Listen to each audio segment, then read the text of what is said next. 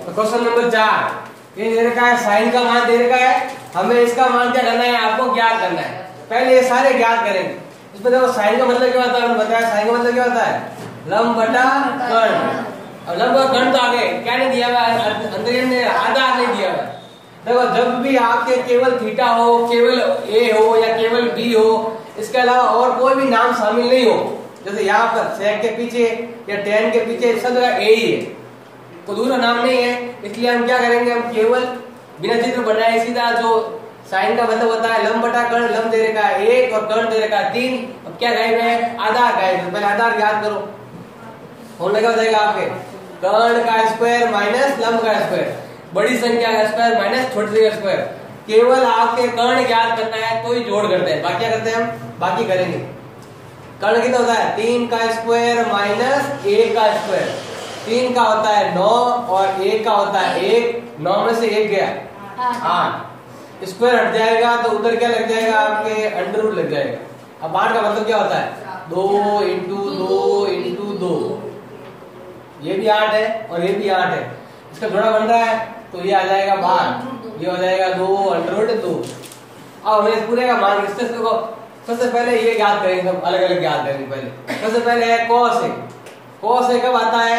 आधार बटा कर्ण आधार कितना सीधे लिख दो सीधे लिख। दो cos A cosec A plus tan A और क्या लिखेगा सेक ए सबसे पहले है कॉस कॉस कब आता है?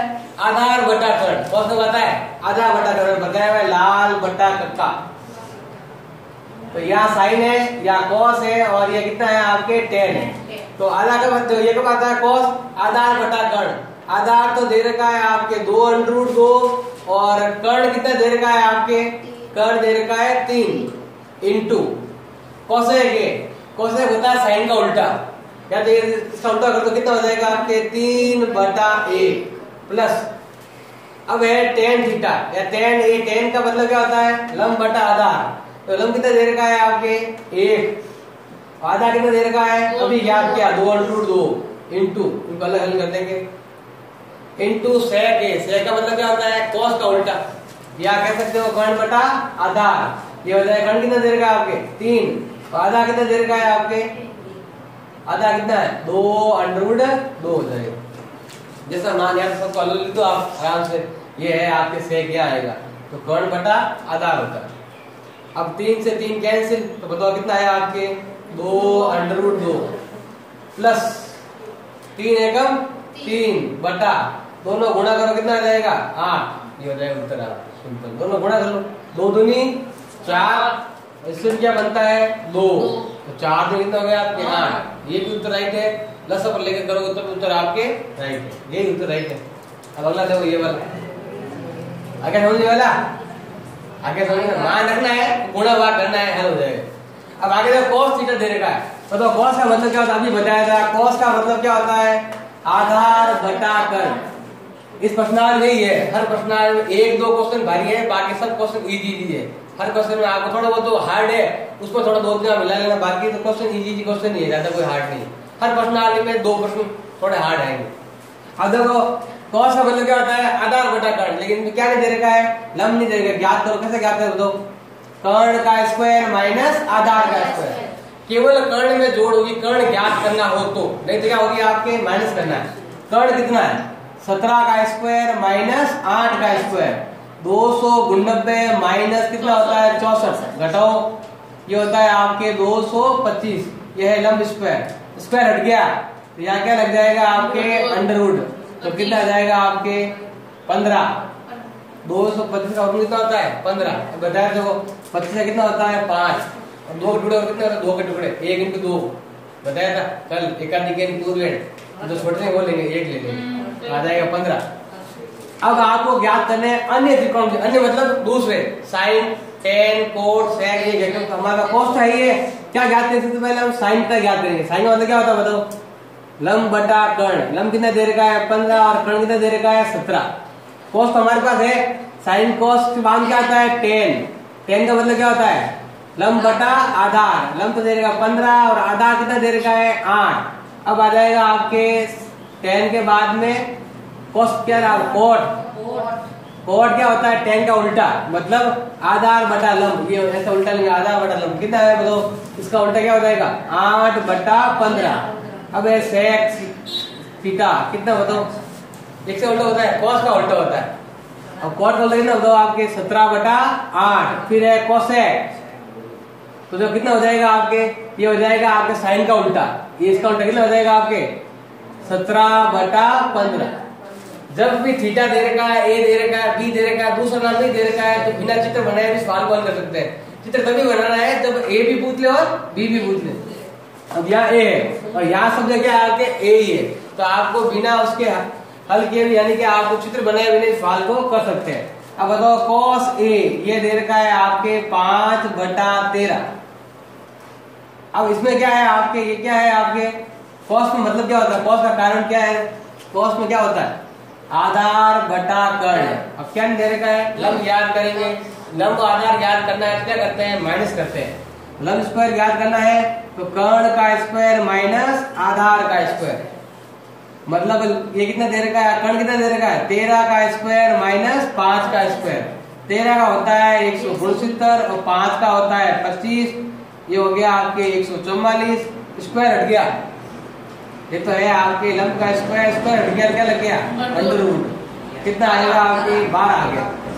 अब पहले क्या करेंगे? सारे ज्ञात करेंगे मान कोसेक कोस और एक ही कोसेक ही बताओ कोसेक कैसे ज्ञात करते हैं? कोसेक का मान क्या होता है?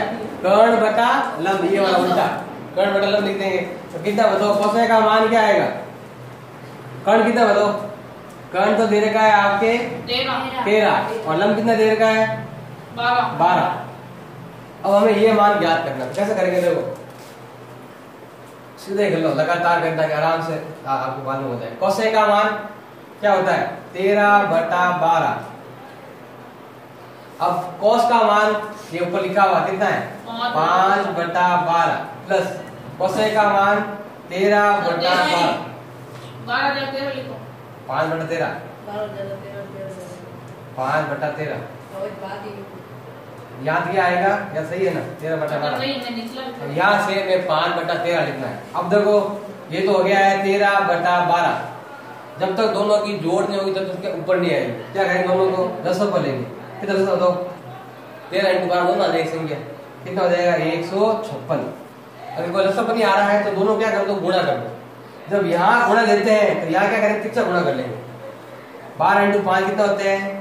साठ। इसे गुणा कितना होता है आपके? एक सौ उनसत्तर। बराबर। ये हो जाएगा तेरह बटा बारह, और ये हो जाएगा आप कितना? साठ, और एक सौ उनसत्तर कितना होता है? एक तीन कितना? दो सौ। दो सौ उनतीस।